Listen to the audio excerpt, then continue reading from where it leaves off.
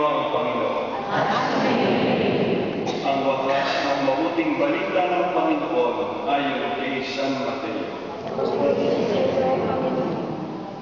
Noong panahon iyon, ang labing isang alagad ay nagpunta sa Galilea, sa bundok na itinuro sa kanila ni Jesus. Nang makita nila si Jesus, siya'y sinamba nila, bagamat may ilang nag-alinlangan. Lumapit si Jesus at sinabi sa kanila, Ibinigay niya sa akin ang lahat ng kapangyarihan sa langit at sa lupa. Kaya humayo kayo at gawin ninyong alagad ko ang lahat ng bansa. Binyagan ninyo sila sa ngalan ng Ama at ng Anak at ng Espiritu Santo at turo at sumunod sa lahat ng ipinag-utos ko sa inyo. Tandaan ninyo, ako'y laging kasama ninyo hanggang sa katapusan ng sanlibutan. Ang mabuting balita ng Panginoon.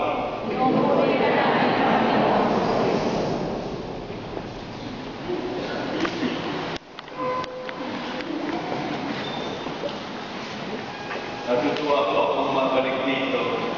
Pero ang biro ko sa marami, kaya ako pumunta, nais kong makita ang mga nakalila ni Sister Manas.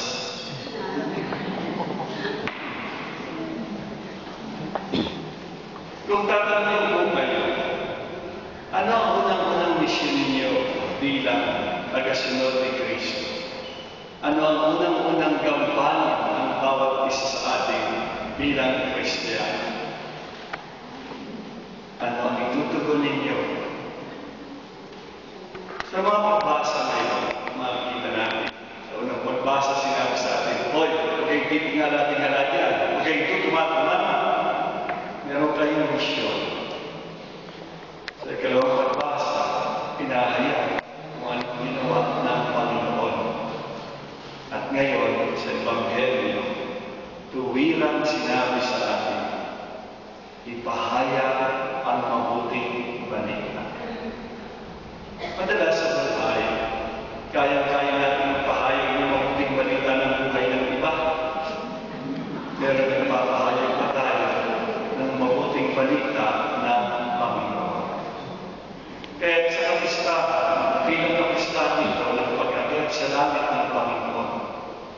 na araw din ng pandaigdigan, araw ng komunikasyon.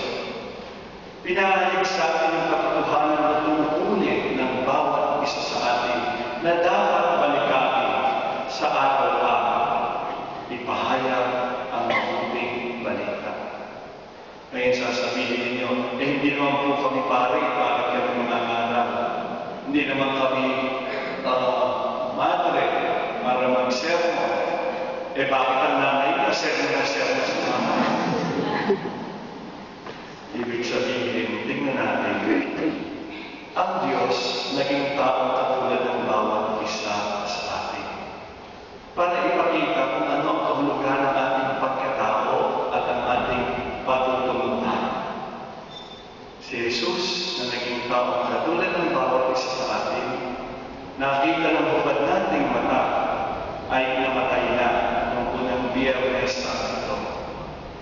Pero si Jesus ng pananampalataya ay patuloy pa rin kasama sa